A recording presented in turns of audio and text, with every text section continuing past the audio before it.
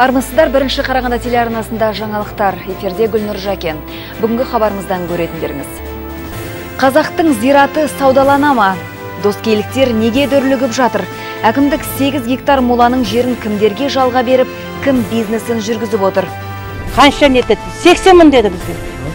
Литейная көшесіндегі 48-ші үй өртке оранып 12 отбасы далаға қаңғып қалды. Әкімшілік арнайы есеп шот ашып қайырымды жандардан көмек сұрауға кірісті. Қарағандыға 5 шақырым жердегі доскейліктер мұсылман зиратының жері жекенің қолына өткеніне наразы. Өткен ғасырдан бері туған туысын тегін жерлеп келген жұрт енді сатылымға түсеме деп алаңдайды. Қарағандының кейбір молаларында ұлтарақтай жердің құны 70 мың теңге. Аудан әкімшілігіне зиратты жекенің қолына өткізуге не мәжбүрледі? Сұрақтарға тілшіміз Гүлназия жауап іздеп көрді. Дөскейдегі мұсылман зиратына соңғы жылдары туған туысын жерлейтіндер қатары көбейген өйткені қазу жұмыстары арзан жер тегін. Сондықтан болар моланың басы елді мекенге жақындай түскен. Бірақ ауыл халқын алаңдатқан ол емес. Мамыр айынан бері бейт жекенің қолына өтіп ұлтарақтай жер сатыла бастаған. Тіпті арнайы күркесімен келген қожайындар сыртына жарнамасын ұмытпаған. кеше мысалы біз келіп жолдасыммен бір кісі келді сұрады маған жер керек деп қанша нетеді сексен мың деді бізге. Құр жердің өзі сексен мың деді қазып береміз қазып берген. сексен мың. Еще плюс еще анау мынау бар мысалы. 20 жылдан бері зиратқа ауылдың имамдары бас көз болған қоқысын тазартып жерді рет-ретімен үлестіріп келген. Тұрғындар тек қазу жұмыстарына ақша шығарған. Жекенің қолына өткенін мәйітті қояр да біліпті. Әкімдіктің әрекетін ақсақалдар түсінбей жаға ұстап отыр. Бейіт сату деген елге ұят нәрсе. Сұмдық нәрсе ғой. Бейітті сатып ертең өзіміз жер сатып аламыз ба иә қазақта болмаған нәрсе жер деген жетеді құдайға шүкір тәуба деу керек қазақстанымыз еліміз жұртымыз аман болсын бірақ мынандай нәрсені бұндай қалдыруға болмайды недегі югтағыдай анау недегі аэропорттағыдай 85 мыңға қазғызбақ қымбат бағаға нетсе елді халықтардың жағдайы келмейді мысалы. сат жер сатқан сұмдық нәрсе ғой жер сатты деген. шариғатты жер сатты деген. 8 гектар жерді жалға алып жерлеу рәсімі арқылы бизнесін дөңгелеткен кәсіпкерді әкімдік қана беске біле тіпті өздері ұсынған. Өйткені зиратта тәртіп жоқ. Әруақтардың бейітін іздеп табу оңай емес дейді. Жерлеу қызметтерін көрсету үшін бәрібір ол жерде керек қой. Бір ол бейіт маңына бәрібір ә, қа- қарау керек. Ә, қатар болу керек ол жерде. Қазір енді өркениет заманы. Бұрынғыдай не деген жоқ бұл жерде. Бұл және де біз қаланың дәл жанында орналасқанбыз. Ә, сондықтан ол жерге ә, бизнес субъектісі болу керек и ол жерге ие болу керек ол жерде қатар болу керек көше болу керек оның ішінде сосын жерленген адамдардың бәрі тіркел, тіркелу керек. Қай жерде кім жатыр? Қазір міне аумағы қазір он үш он төрт гектар болып кетті. Осыдан ә, міне үш төрт жыл бұрынғы неден өсіп кетті аумағы. Әкім мырза стандартқа сай 45 сантиметрлік мәйіт орны тегін болады деп сендіріп отыр. Жалға алған кәсіпкер тек заң аясында жұмыс істеп халыққа қызмет етеді дейді. Ал жұртқа өзін жарнамалап табыттың орны табыттың орны 80 мың теңге деген кәсіпкерді түсінбедік те іздеп таба алмадық та. Гүлназия мирханқызы жасұлан мақұлбеков бақтияр оспанов бірінші қарағанды телеарнасы. Литейная көшесіндегі 48-ші үй өртке оранып, 12 отбасы далада қаңғып қалды. Тілсіз жаудың кесірінен жалғыз баспаналарынан айырылып, көрінгеннің есігін жағалап жүр. Қызыл жартай қоғамдық бірлестігі мен Қазбек би атындағы аудан әкімшілігі арнайы есеп шот ашып, қайырымды жандардан көмек сұрауға кірісті. Төбесі ортасына түскен барак үйге тілшіміз барып қайтқан еді. Литейная көшесі 48-ші барак үйдің өрттен кейінгі кейпі осы. Төбесі түсіп, қабырғасы құлап жатыр. Кезінде зауыт қызметкерлеріне берілген нысанды 12 әулет паналап келген. 34 тұрғын. Bir түнде шаңырақтарының гүлі көкке ұшып, бар жиған тергенінен айырылған жұрттың кеудесін тек өкініш кернейді. Саманнан болса да жалғыз баспанасы бұл олардың. бәрі жанып кетті мебельдер бәрі телевизор компьютерлер бәрі суға нетіп жарамайды енді өзіміз аман қалдық буквально только одни стены. И то видите какие. өзім жөндеу жұмыстарын енді аяқтаған едім. Жатар бөлмемнен қалғаны осы. Құжаттарды ғана алып үлгердік. Түгел отқа оранды. Төтеншеліктер екі көлікпен келді. Бірақ біреуінде су болмады. Өрт 29 тамыз күні таңғы сағат төрттер шамасында болған. Төтеншеліктер тілсіз жаумен 4 сағат арпалысқандарын айтады. Зардап шеккендер жоқ, бірақ үйді аман алып қала алмапты. ограждение забора. Өртті ауыздықтауға алты бөлімше 42 қызметкер 10 техника атсалысты. Өрт 9-дан 52 минут өткенде тоқтады. Тергеу нәтижесі әлі шыққан жоқ. Он екі әулет қазір көрінгеннің есігін қағып күйбең тірлікпен өздері арпалысып келеді. Қазбек би атындағы аудан әкімшілігі жарты қызылай қоғамымен бірлесіп қол ұшын созамыз деп уәде етіпті. Арнайы есеп шотта ашылған. Были э, была роздана біз тұрғындарға жатақхана ұсындық. бірақ өздері келіспей туыстарын жағалап кетті. Оған дейін қоқыстан тазартып көмектесіп жатырмыз. құрылыс материалдарымен не техникамен көмектесетін жандарға сіздер арқылы шығып отырмыз. Первый который у нас после наводнения. Тасқыннан зардап шеккен халыққа түскен киім кешек азық түліктер қалған еді. Мектеп құралдары да бар. Қолдан келгенше қамтамасыз етіп жатырмыз. Өрттің шығу салдарын тергеушілер анықтап жатыр бірақ электр қуатынан емес көршілері біреу әдейілеп тұр тұтатты дегенді алға тартады. Ал шенеуніктер табиғи апат болса ғана жаңа үймен қамтамасыз етеміз заң солай деп отыр. Сондықтан атқамінерлер кәсіпкерлер мен қайырымды жандар мұрындық болса бұл жанұялардың сергелдеңі бітеді дейді. Көмек көмектесемін деушілерге есеп шот номері экранда көрсетілген. Гүлназия мейірханқызы жасұлан мақұлбеков бақтияр оспанов бірінші қарағанды телеарнасы. Аймағымызда астық жинау маусымы басталды. Бүгінде 2000-нан астам комбайн егін орағына жұмылдырылмақ. Ауыл шаруашылық басқармасы ағымдағы жылы науқанды қыркүйектің соңына дейін аяқтауды жоспарлауда. Облыс әкімі ауыл шаруашылық мамандары мен аудан әкімдері мәселені бірлесе қарастырды. Онлайн режимінде өткен жиынға аймақ басшысы нұрмұхамед әбдібеков шенеуніктерге егін орағын жеделдетіп іске асырып жиналған өнімді қар астында қалдырмауды қадағалау керектігін қатаң тапсырды. Өткен жылы қар ерте түскендіктен қаншама астық жарамсыз болып қалған. Енді сол келеңсіздіктер биылғы жылы шаруашылықтарға сабақ болуы тиіс. Енді қазір де ә, ауа райы қандай болатыны ана белгісіз болып тұр бір жағынан. Біз бәріне дайын болуымыз керек. Қандай қиыншылық мына ауа райы туғызатын болса да бәріне біз тиісті шешім тауып мезгілінде бәрін бітіруіміз керек. Сала басшыларының айтуынша бар жағдай бақылануда. Кейбір аудандарда ауыл шаруашылық өнімдерін өндіру азайып кеткен. Дегенмен биылғы жылы егіннің түсімі жақсы болады деп күтілуде. При средней урожайности 8,7 орта есеппен алғанда егіннің әр гектарынан 8,17 центнер түседі деп жоспарлануда. Біз аудан әкімдерімен келісе отырып түскен түсімнің тұқымдық дәнді дақылдарды да аламыз деп отырмыз. Егін орағына ерте бастан жүйелі дайындалса бәрін де уақытында орындауға болады. Жиырма айтта ертерек мемлекеттің көмегіне сүйеніп арзан бағамен алып қою қажет. Себебі науқан кезінде жанар жағармай күрт көтеріліп кетуі мүмкін. Оған қоса биылғы жылы жайылым мен шабындық алқаптарының өртенуі де біраз шығын келтірді. Тек қана ауданның орталығында отырмай ана барып халықтың арасында жұмыс істеу керек қой.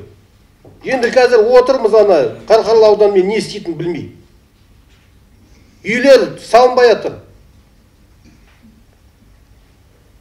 Ең қиын жағдай сол ауданда қазір. Ағымдағы жылы 700 мың гектар бидай 8 мың гектар картоп 30 мың гектар көкөніс егілген оған қоса арпа солы тары сияқты дәнді дақылдар да бар. Алты нан өнімдерін өндіретін кәсіпорын жұмыс істейді. Облыс әкімі барлық жағдайды ескере келіп апта сайын егін орағына байланысты жиын өткізетінін мәлімдеді. Ауыл шаруашылық өнімдерін мол өндірсек әлемдік дағдарыстың қыспағынан қысылмай шығуға болады дейді сала мамандары. Жаңабек наров олжас ғаббасов бақтияр оспанов бірінші қарағанды телеарнасы. Көрсетілім демеушісі Galaxy Group компаниясы алюгал галвин херкюль сауда белгілерімен. Галвин а классындағы телеселік жүйесі. Ұзақ мерзімділігі 60 жыл. Галвин профилі. Аязға төзімді сенімді берік сапаны бағалайтындар үшін. Хабарымызды жалғастырамыз. Қазбек би атындағы аудан әкімшілігі жылу маусымына дайындық жұмыстарын бастап жіберді. Ең әуелі өз аумағына тиесілі мың жарым тұрғын үйдің желтөлелерін тексеріп, жылыту құбырларын қаптау керек деп отыр. Бірақ пәтер иелер кооперативі жоқ үйлер мүлдем дайын емес. Сондықтан сол тұрғындармен кездесіп, арнайы қызметтің артықшылықтарын түсіндіріп жүр.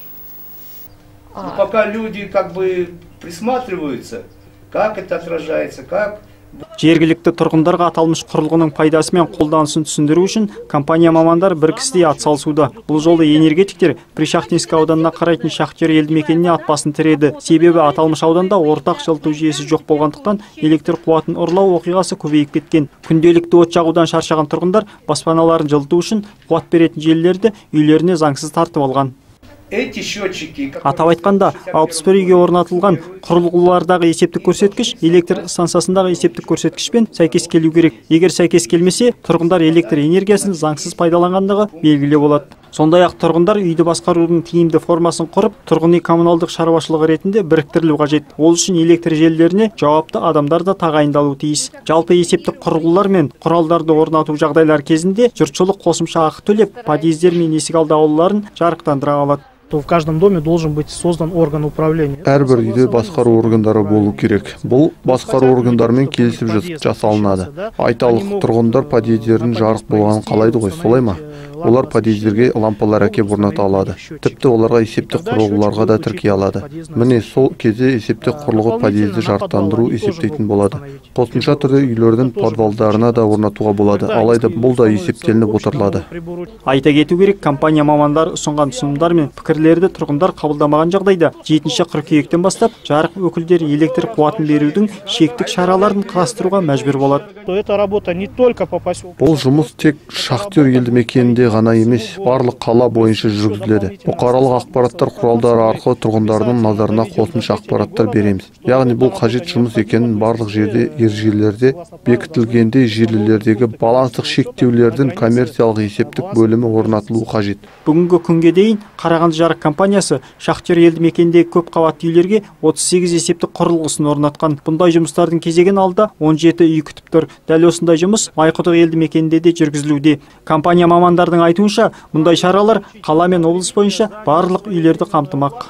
Жаңабек наров төлеген рашитов бақтияр оспанов бірінші қарағанды телеарнасы.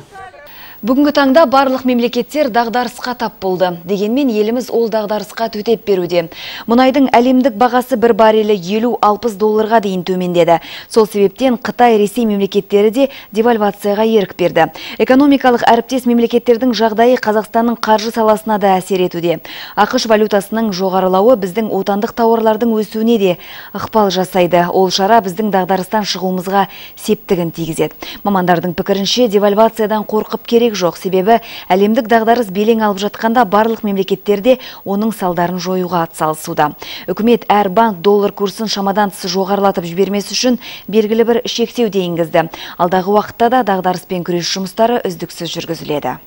Как говорит наш э, елбасы әкімдерге тапсырма берді. Халықтың күнделікті тұтынатын тауарларын қымбаттатпауды қадағалауда. ұлттық банк жыл сайын инфляция деңгейін 2-4 пайыз аралығында көтеріп отыруды көздеуде. бұл жағдай 2020 жылға дейін созылуы мүмкін.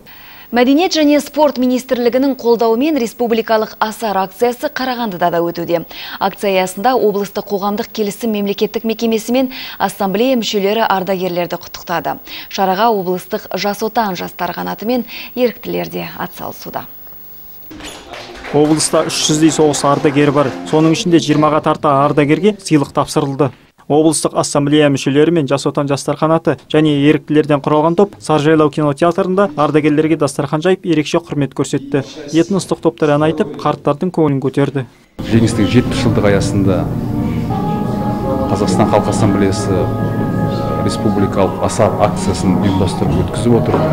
Бұл шараның басты мақсаты біздің әрбір ардагерімізге әрбір қарияның ә, қажетін ашу мүмкіндігінше көмек көрсету болып табылады бұл біздің әрбір азаматтың басты парызы міндеті деп білемін. Ұйымдастырушылар ардагерлердің үйлерін аралап арнайы сыйлықтар жасады. Соның бірі антонина әжей 90 жаста. Жүзге иек артқан қарт украин майданына қатысқан. Соғыстың басынан аяғына дейін қатысқан әжей байланысшы болып от пен оқтың ортасында талай қиындық көрген. Бейбіт күнде де еңбекке қызу араласты. Балаларын қанаттандырған ана бүгінде бейнетінің зейнетін көріп отыр. Не помыться не умыть Соғыста сусыз, тамақсыз әрнені талғажау етіп бірнеше күн жуынбай да жүретін күндер болды. Айналада атыс болып жатқанда үзіліп жатқан сымдарды жалғап жүрдік. үлкенге ізет көрсетіп өткенді бағаламай келешекке жол көрсете алмайсың. Сондықтан ардагерлерді көзі тірісінде бағалау керек дейді ұйымдастырушылар. Жаңабек наров исламбек оспан бақтияр оспанов бірінші қарағанды телеарнасы. Өзге де жаңалықтарға кезек берсек, Мирас клубының жеткіншектері ешкімге керек еместер деп аталатын фильмнің тұсаукесерін өткізді. Бұл түсірілімде қоғамнан шеттетілген панасыз балалардың мәселесі көтерілген. Басты рөлдерді сомдағандар да атақты әртістер емес, қарапайым балалар болды. Алдағы уақытта көрсетілім қаламыздың мектептерінде ұйымдастырылатын болады.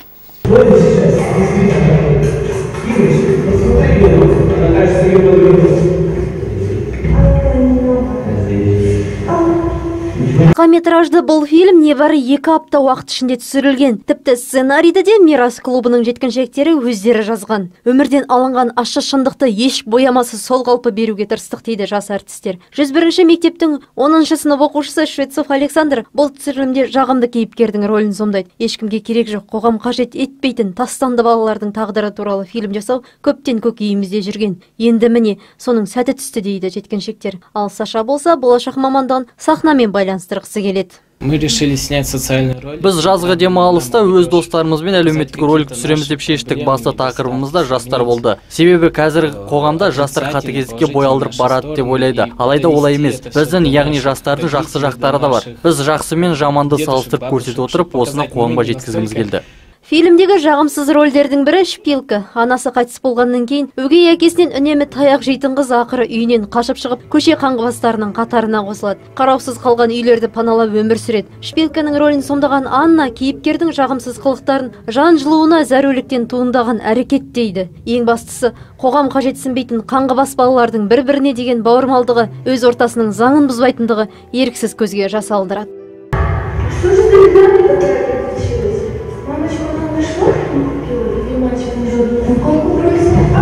жас алдырады Вообще, этот персонаж... Менің кейіпкерімнің басынан түрлі жағдайлар өткен. Маскүнем өгей әкенің таяғы қаршай қызды көшеде өсуге итермелейді. Ол көп ашылып сөйлесе бермейді. Өз ортасынан бөлек айналасындағылардың барлығына да секеммен қарайды. Бұл көрсетілімде жастар екі түрлі мінездемемен сипатталады. Бірі көшеде ұрлыққа түсіп, анаша шегіп, теріс жолға түссе, енді бірі керісінше қарттарға көмек қолын созып, құбырдың ішіне кіріп кетіп шыға алмай қалған кішкентай баланы құтқарады. Тұрақсыз көше кезген қаңғыбас жеткіншектердің бір тобы осылайша қайырымдылық жасаса, енді бір тобы кері әрекеттер істеуде. Біз тек жастардың өздері өмір сүретін ортасына бей-жай қарамайтынын түсіндіргіміз келді дейді жастардың ұстазы меруерт балкиева олжас ғаббасов бақтияр оспанов бірінші қарағанды телеарнасы Өткеннен бір белгі. Ақтас кентіндегі нөмірі 16 мектептің жер төресінде ерекше құрылыс салынған. Мектеп әкімшілігінің сөзінше бұл жарылғыш бомбадан сақтану үшін салынған бомба пана дейді. Ішіне 500-ден астам адам сиятын пананы біздің түсіру тобымызда арнайы барып көрген болатын.